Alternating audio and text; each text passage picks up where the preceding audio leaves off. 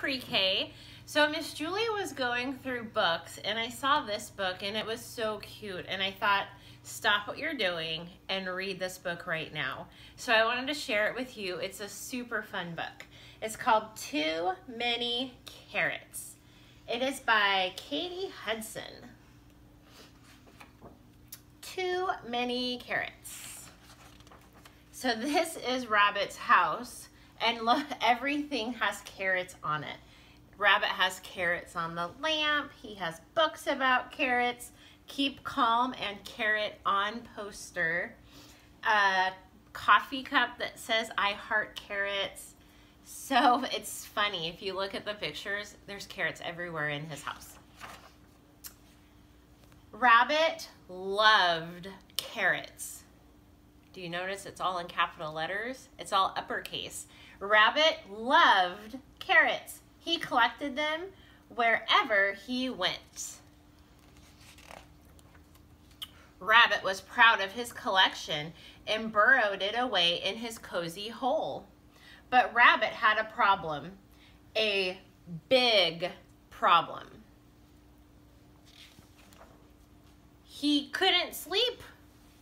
Do you see Rabbit in with all of his carrots? His cozy hole was too crowded to live in. There's carrots coming out of everywhere. I need a place to sleep, Rabbit told Tortoise. You could share my house, Tortoise offered. It looks cozy and snug, Rabbit said. Maybe it's a little too snug for two of us, suggested Tortoise. Not at all, said Rabbit. Nah, it does look a little too snug but that's pretty cute. Uh-oh, oh dear, ouch, ah, crash. Oh dear, well perhaps we can stay in Bird's nest, said Rabbit. My nest is quite small, Rabbit, said Bird. I'm sure we will all fit, replied Rabbit. Rabbit hauled his carrots up the tree. Whoa, groaned Tortoise and Bird as the branch wobbled and swayed.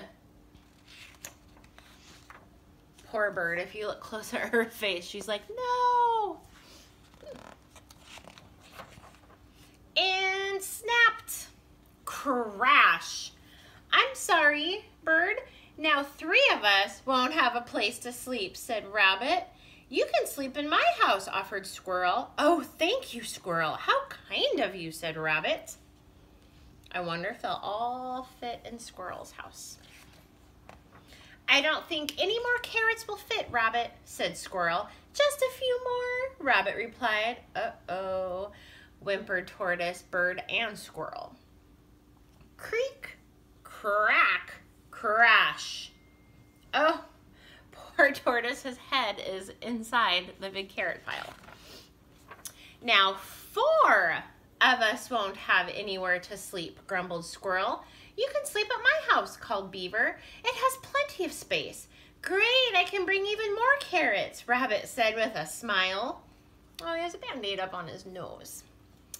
But with all your carrots, we can't fit inside, said Beaver, a little bit bewildered. Just then, the rain started, Tortoise shivered, Bird whimpered, and Squirrel squeaked. And Beaver heard terrible rum and Beaver heard a terrible rumble as his house collapsed.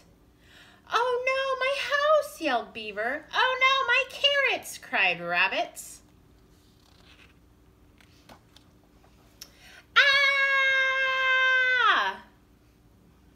Do you see all those H's? Ah! That's why Miss Julie did that. Crash. The friends groaned as they swept up into the riverbank. Rabbit felt terrible. His friends were cold, tired, and homeless. It was all his fault. Even worse, Rabbit still had all of his carrots and his house. That's when he realized there was only one thing to do. Share everything with friends. After all, carrots weren't for collecting, they were for sharing.